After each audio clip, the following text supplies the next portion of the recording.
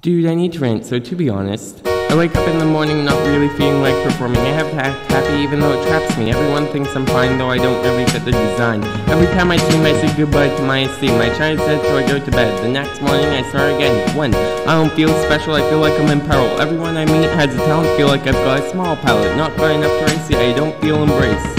If I disappeared, would anyone have interfered? Would it matter? Would I be the liar? Does the person care that I've been in disrepair?